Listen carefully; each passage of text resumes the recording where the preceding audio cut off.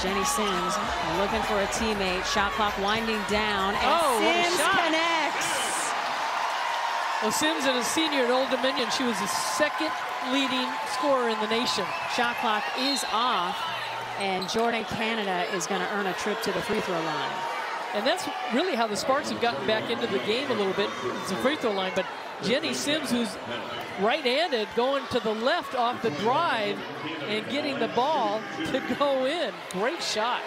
JC back to the free throw line. Like to thank our producer, Bobby Hayden, director Jason Moon, statistician Chris Ramirez, everybody on point yet again for us here on the CBS Sports Network. Sam Thomas has checked into the ball game. Diana Taurasi still wanting explanation from crew chief Cheryl Flores. That conversation could last all night. JC unable to connect on the second one. Sparks run down the rebound though. Canada thought about the pull-up jumper, gets it into Nelson-Ododa. She's fouled and will go to the free throw line. Just nine seconds to go in this game. It looks like Phoenix is going to hang on and complete the season sweep, or rather split the season series against the Sparks and improve to nine up and five down here at home.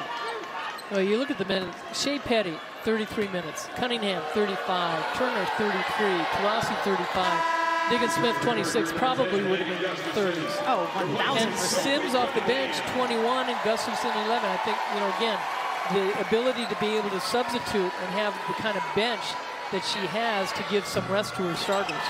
Nelson Adota off on the chance to cut it to single digits for the first time since the second quarter, and that is going to do it as the Mercury get the victory. 90 to 80 is the final as the Mercury bounce the Sparks for a third straight time here in the desert.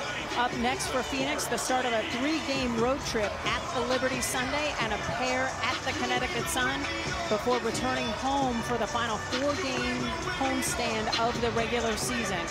Annie, what impressed you most about this Mercury win? The defense. The defense, they had their hands all over the place. They came up with 12, 13 steals in this game and, and uh, the execution of their offense. But the defense, and that comes with the energy, the effort, and just the focus they had in this game.